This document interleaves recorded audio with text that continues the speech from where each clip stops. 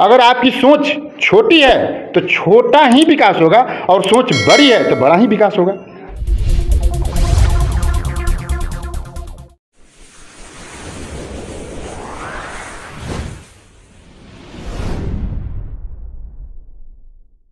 दे दीजिए उत्तम कुमार सुमन मैं जमरोड पंचायत से मुखिया प्रत्याशी हूँ। आपने जमरोड पंचायत से मुखिया पद के लिए नामांकन किया है। हम्म। तो आपका चुनावी मुद्दा क्या है?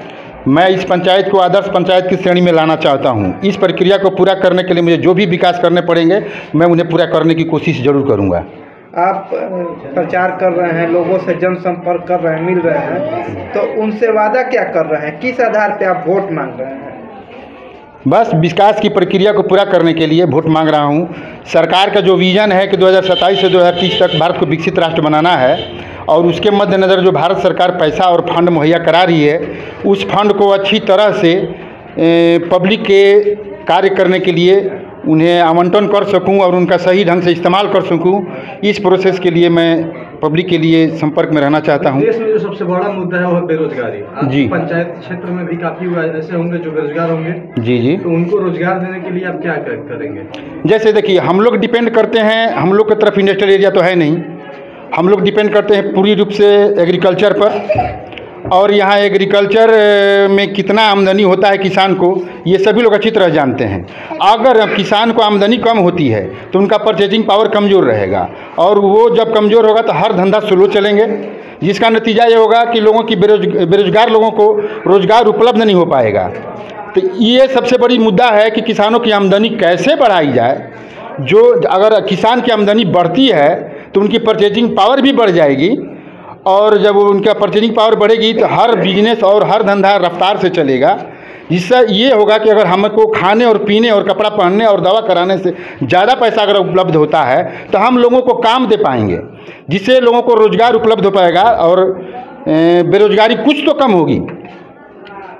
आप जो हमारा समाज रहा है सदियों से पुरुष प्रधान समाज रहा है सभी कैंडिडेट से यही सवाल हो रहा है हम्म। कि कहीं ना कहीं हमारे समाज में जो औरत हैं जो बच्चियाँ हैं वो अपने अधिकार से वंचित रह जाती हैं। जी। तो आप उन बच्चियों को अधिकार दिलाने के लिए क्या क्या कदम उठाएँगे देखिए एक्चुअली ये प्रोसेस है इस देश में सबसे बड़ी समस्या ये है कि हम आधी आबादी को बैठा कर खिलाते हैं। अगर ये आबादी पूर्ण रूप से फायर नहीं करती है तो हम एक विकसित राष्ट्र कभी नहीं बन सकते हैं। आप सोचते हैं कि एक हैंड से काम चला लेंगे तो ये आपका कभी सपना पूरा नहीं होगा। इसे पूरा करने के लिए आपको दोनों हाथ से मेहनत करने होंगे। दोनों हाथ मतलब ये है कि एक तरफ़ अगर पुरुष है तो एक तरफ़ महिलाओं को भी आपके कदम से कदम मिलाकर चलना होगा।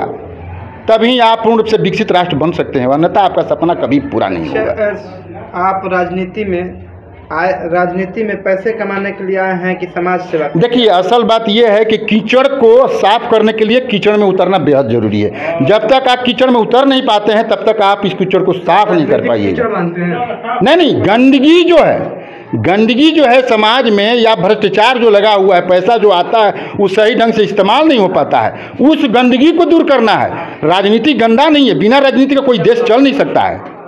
सोच एक अच्छा चीज़ होना चाहिए, जिससे जैसे मान लीजिए कि सरकार फंड मुहैया कराती है, उस फंड को आप सही ढंग से इस्तेमाल नहीं कर पाते हैं, और आपका कोई भी स्ट्रक्चर सही ढंग से पूरा नहीं कर पाते हैं तो आप विकास की सीमा को कहाँ प्राप्त कर पाइएगा जो देश चाहता है? अच्छा आप ये बताइए कि मुखिया पद का वेतन मात्र पच्चीस सौ रुपये का है। बिल्कुल। लेकिन उस पच्चीस सौ रुपये वेतन पे काम करने के लोग मुखिया बनने के लिए तमाम हथकंडे अपना रहे हैं। हम्म। तमाम खर्चे किए जा रहे हैं। हम्म। वोटरों को प्रलोभन दिया जा रहा है। दारू मुर्गा रुपया महिलाओं को साड़ी उड़ी का प्रलोभन दिया जा रहा है। जी जी। तो इसको आप कैसे देखते हैं? देखिए एक्चुअली ये तो है कि एक प्रतिष्ठा का पद है।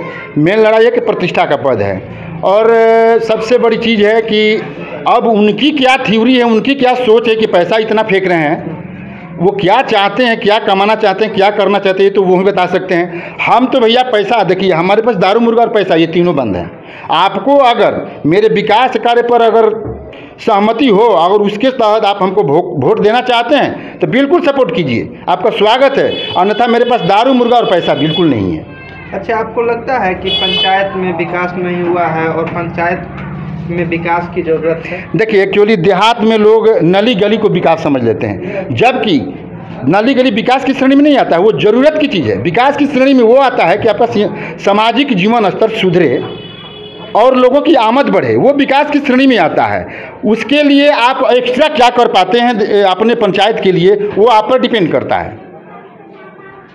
अंत में अपने जनता से क्या अपील करेंगे ताकि वो आपको वोट करें बस यही कहना चाहूँगा कि आप आपकी सोच ही आपके विकास का मार्ग प्रशस्त करेगा।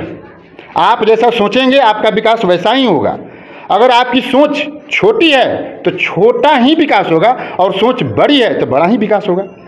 ये आपके ऊपर डिपेंड करता है कि आप अपना मत कैसे उम्मीदवार को देते हैं और कैसा अपने लिए उम्मीदवार चुनते हैं।